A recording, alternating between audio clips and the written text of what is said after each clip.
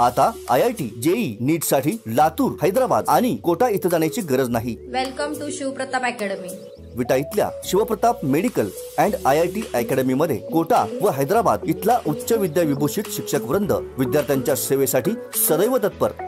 I am the student of Shivpratap Academy Vita. Decision determine our destiny. I always want academy that would prepare me for life itself. Choosing Shivpratap Academy was the best decision. Shivpratap अकॅडमीमुळे मी यशस्वी झालो तुम्ही सुद्धा यशस्वी व्हा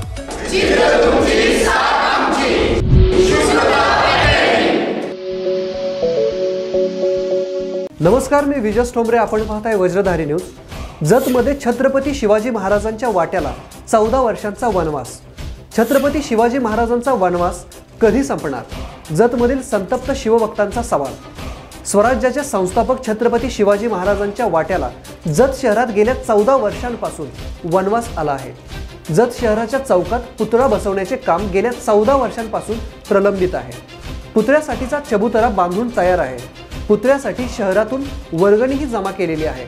याशिवाय पुतळा तयार करणाऱ्या मिरज येथील शिल्पकाराला पैसेही दिल्याचे समजते आहे. तरीही गेल्या चौदा वर्षांपासून पुतळा बसवण्यात आलेला नाही. जत शहरात स्वराज्य संस्थापक असलेल्या शिवरायांचा वनवास संपणार का? असा संतप्त सवाल शिवभक्तांच्यातून विचारला जातो आहे. ज्यांनी स्वराज्य स्थापन केले त्या शिवरायांची त्यांच्याच स्वराज्यात अशी अवहेलना होत असेल तर वाईट आहे अशी भावना शिवभक्त बोलून दाखवत आहेत. जत शहरात त्याच ठिकाणी पुतळा बसवण्यात यावा. यासाठी अनेक संघटनांनी व शिवभक्तांनी आंदोलने केली उपोषणे केली. आंदोलनकर्त्यांवर केसेस टाकल्या गेल्या. पण आजही शिवरायांच्या वाट्याचा वनवास संपलेला नाही. सुमारे सत्तर वर्षांपूर्वी जनतेच्या तात्कालीन संस्थानिकांनी शिवरायांची मूर्ती जत सांगली मार्गावर भर चौकात बसवली होती. सदरची मूर्ती जनतेच्या शिरपेचातला मानाचा तुरा होती. देशाचे तत्कालीन कृषी मंत्री पंजाबराव देशमुख यांच्या प्रमुख उपस्थितीत या पुतळ्याचे लोकार्पण करण्यात आले होते. पुतळ्याभोवती दगडी संरक्षक भिंती होत्या. सदरचा पुतळा संपूर्ण जत तालुक्यासाठी स्वराज्याची स्थापना व शौर्याची गाथा सांगत दिमाखात उभा होता. दोन हजार सहा साली सांगलीच्या दिशेने आलेल्या एका मालवाहतूक ट्रकची धडक बसल्याने सदर पुतळ्याचे नुकसान झाले होते. त्यानंतर दुसरा पुतळा उभा करण्यासाठी अनेक समित्याही स्थापन करण्यात आल्या. पुतळा बसवण्याच्या तयारीने दोन हजार चौदा पंधरा साली सतरा लाख रुपये खर्चून चौकात चबुतरा बांधण्यात आला आहे. या चबुतऱ्यातही अनेक वेळा बदल करण्यात आले. अखेर चबुतराच मोडखळीस यायची वेळ आली आहे. पण जत पालिकेला काही जाग यायला तयार नाही. जत शहरात शिवरायांचा वनवास कधी संपणार आहे का? असा संतप्त सवाल लोकांच्यातून विचारला जात आहे. जतच्या ऐतिहासिक पुतळ्याचा एका अपघातामध्ये विद्रुपीकरण झालं. त्यामुळे तो पुतळा तिथून हटवला गेला. तो खाजगी संस्थानिकांचा होता वाड्यावर नेऊन ठेवला. त्यानंतर आजतागायत पंधरा वर्ष होत आली. केवळ राजकीय इच्छाशक्तीचा अभाव किंवा स्त्रीयवाद लाटणे किंवा त्याबद्दलचा निरुत्साह या गोष्टीमुळे पुतळ्याचं बांधकाम हे रखडलेलं आहे. याबद्दल जत तालुक्यात नव्हे तर ज्या ज्या लोकांना माहीत आहे त्या सर्वच शिवभक्तांना या गोष्टीचा प्रचंड संताप आहे.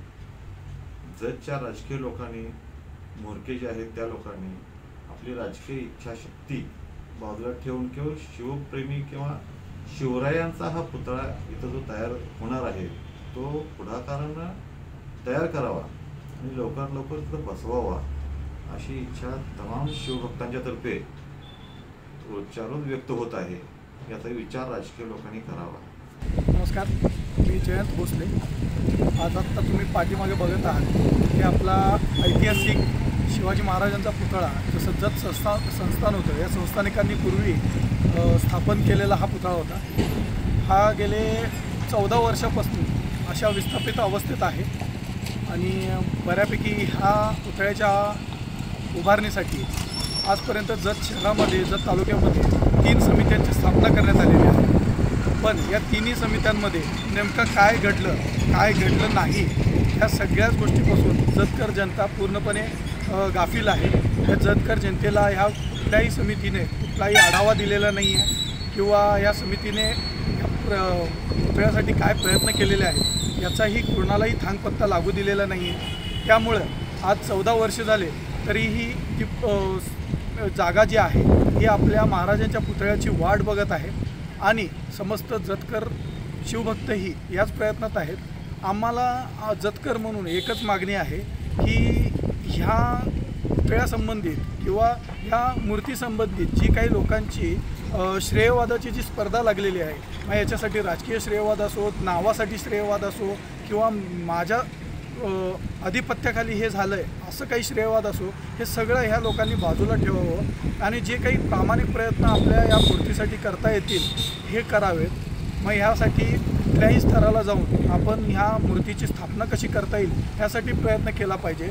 माझ्या माहितीनुसार जी काही आम्हाला माहिती मिळाली तर गेले चार वर्षापूर्वी आम्ही ज्या वेळेला पुतळ्याच्या चबुतरासाठी प्रयत्न केले तर चबुतरा त्यावेळेला पूर्णपणे बांधलेला नव्हता किंवा उभारण्याची सुरुवातही केलेली नव्हती. त्यावेळेला आम्ही याबद्दल आवाज उठवला होता.